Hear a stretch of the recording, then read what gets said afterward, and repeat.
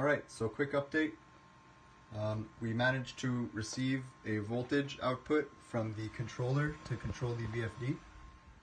Um, so the max RPM on this machine is 2000. So, and the VFD uh, will take an input voltage from 0 to 10 volts. So if we go 0 RPM here, we should see this drop back down to 0. Right.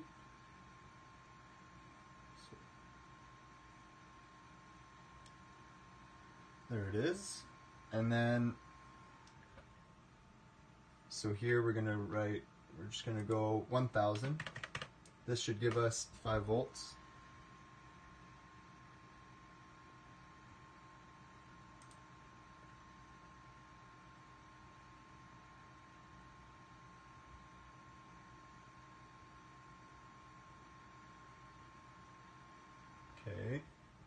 And then 2000 should give us our full 10 volts.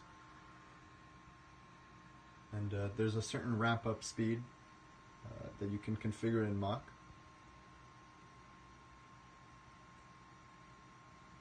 And there we go. So problem solved. Alright, so using the AS2 VFD, uh, just to knock off VFD from Amazon, connecting to the free analog, free analog 1 and ground, to the Mach 3 breakout ground 1 and VSO, right there. We are finally able to control the motor.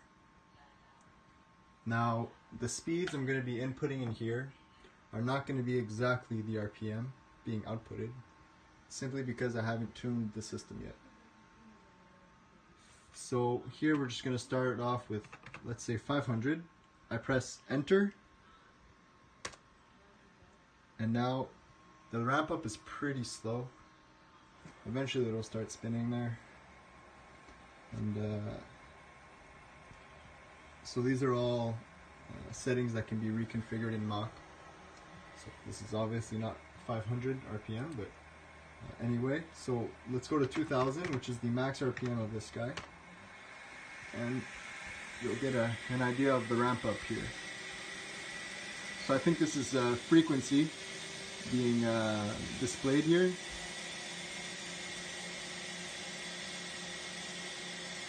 And there we are. So finally we are able to control the spindle. So if I do spindle off, and it's going to shut off. But very slowly because again, uh, the ramp settings are not adjusted properly.